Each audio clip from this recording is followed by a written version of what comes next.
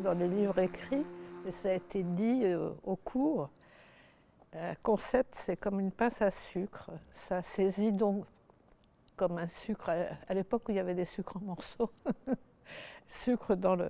Donc, saisit quelque chose dans le réel et qu'on on va après tremper dans autre chose, dans un milieu, etc., fait de tas d'autres choses pour euh, en fabriquer autre chose encore, donner du goût.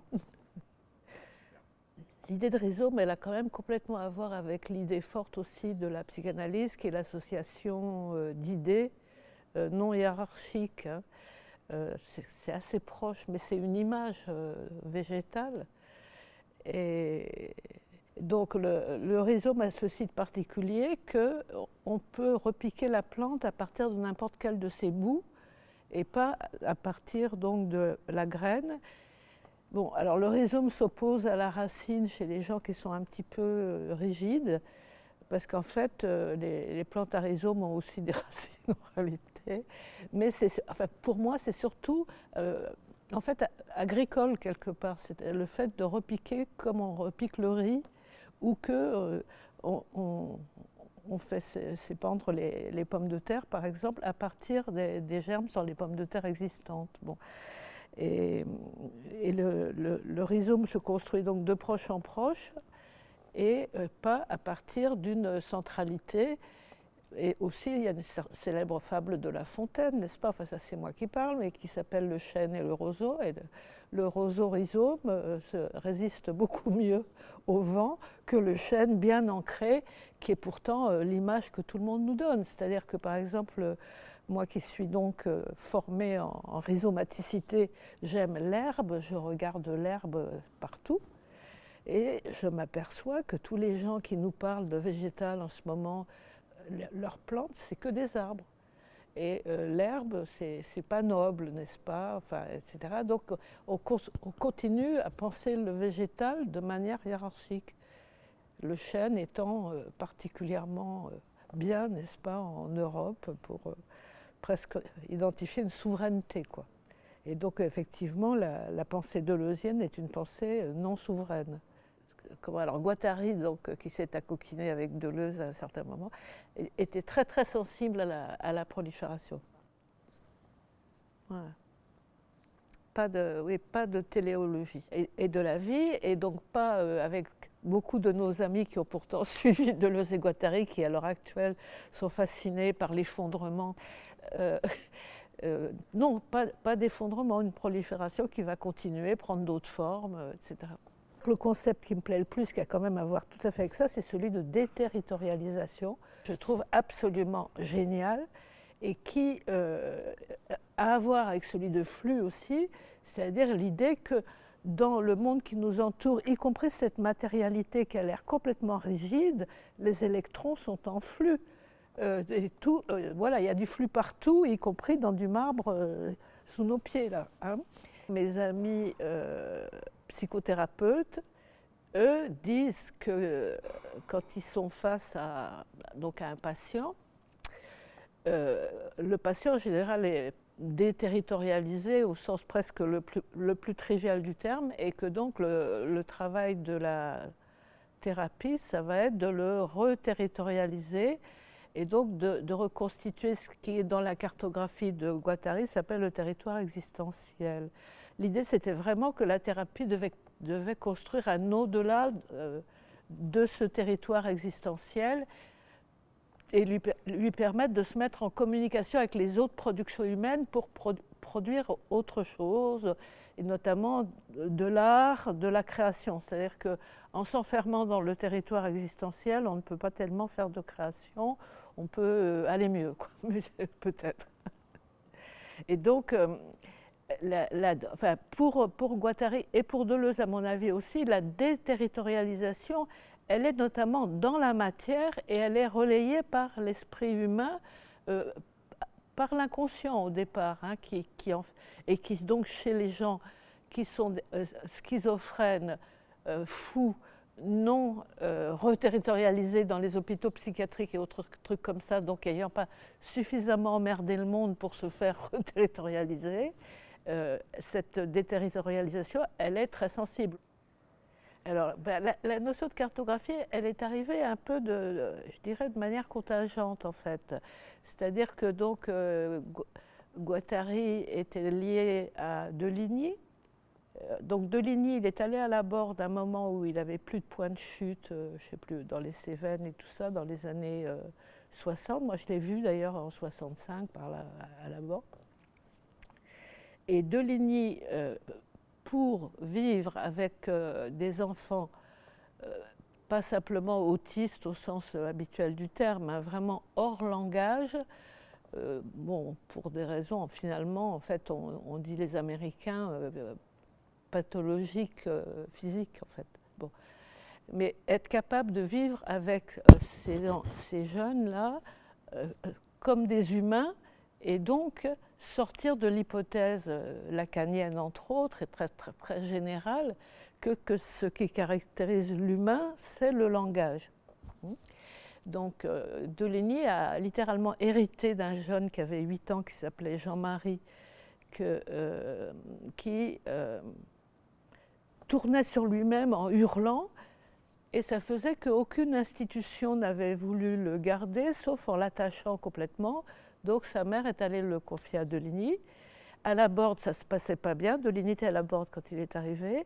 Et donc Deligny l'a emmené dans les Cévennes, dans une maison et donc, il a commencé à créer une toute petite communauté avec notamment quelqu'un qui s'appelle Jacqueline, qui est toujours euh, là-bas et qui avait été euh, dessinateur, mais industriel, pas euh, artiste.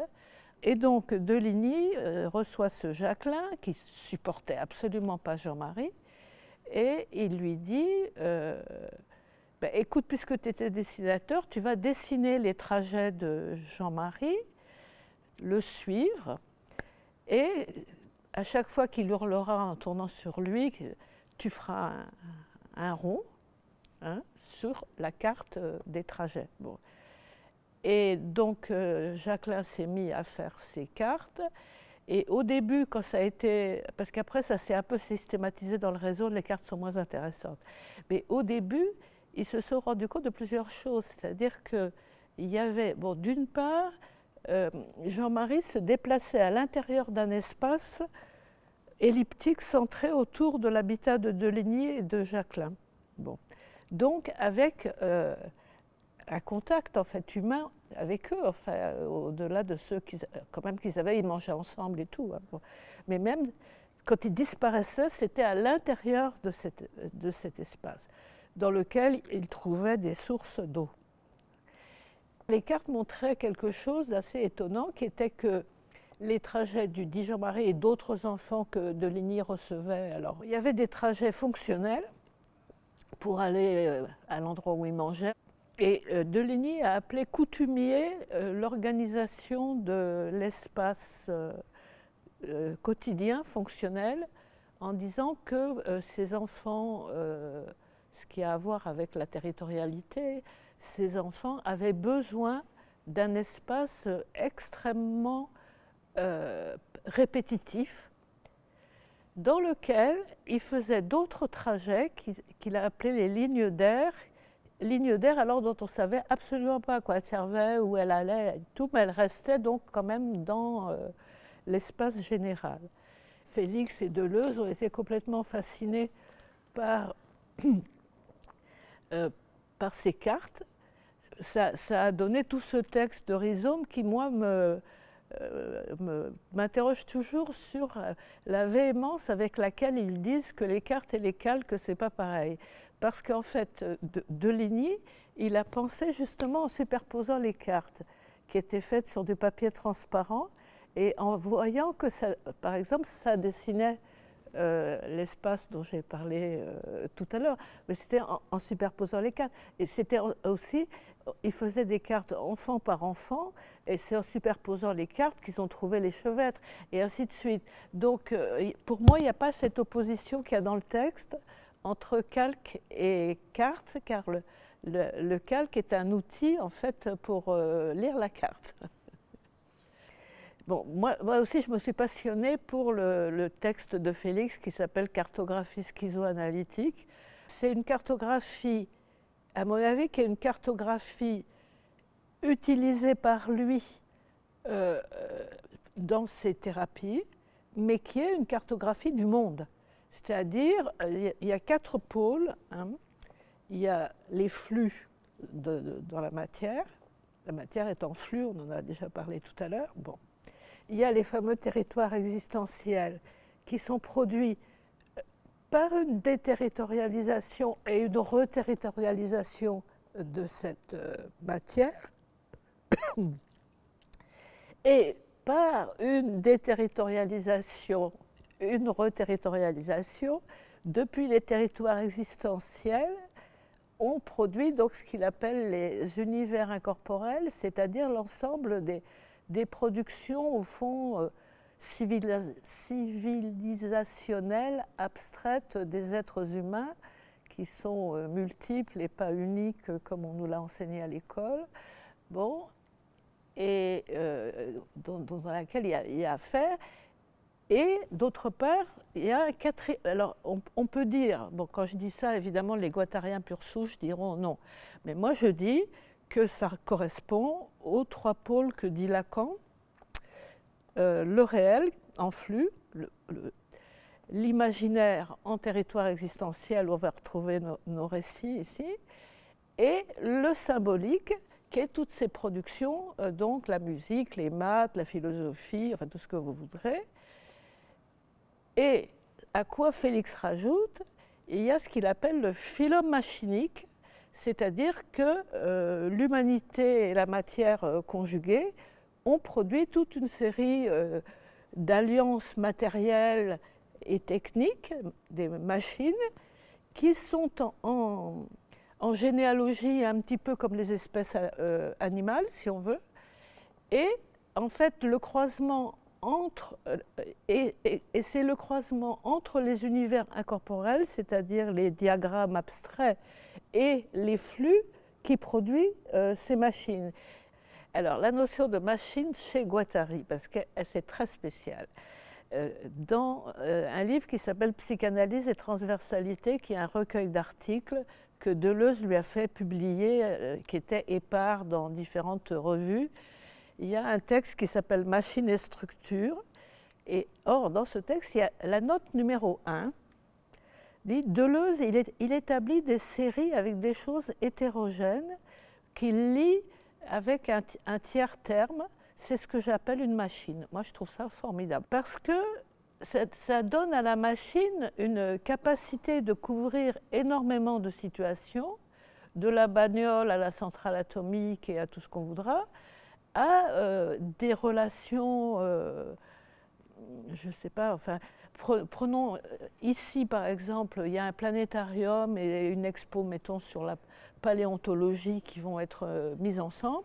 Et, pour certains visiteurs, pas pour tout le monde et tout ça, il va y avoir une articulation, mettons, entre ces deux trucs-là qui va leur faire peut-être faire un film ou n'importe quoi. Enfin, et, dans la vie, il y a tout le temps des rencontres de choses hétérogènes dans le réel, justement dans une concomitance, qui font produire autre chose, ne serait-ce qu'une image poétique, par exemple, qui va faire le tour du monde, et d'autres vont la broder et euh, la transformer avec d'autres objets, etc.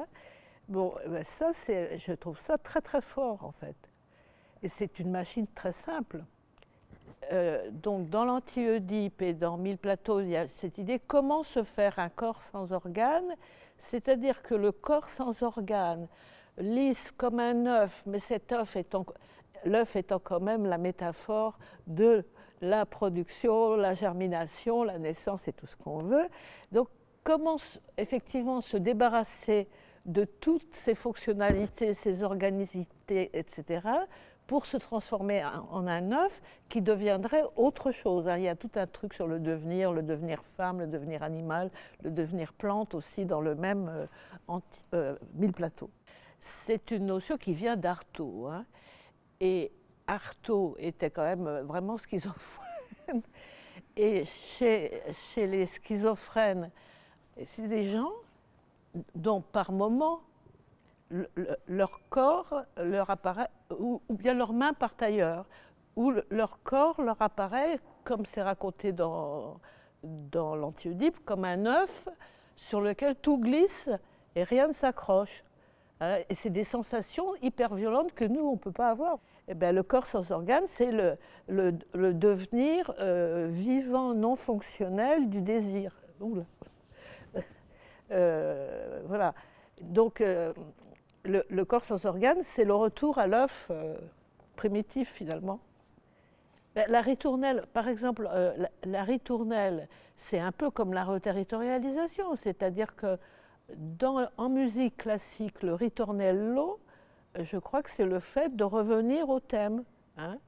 et tout le monde n'attend que ça. Mais moi, c'est le contraire. Alors, j'attends toujours un thème nouveau. Je n'écoute pratiquement que de la musique contemporaine. Dès que je les ai entendus trois fois, j'en cherche une autre. Donc, je suis un mauvais sujet.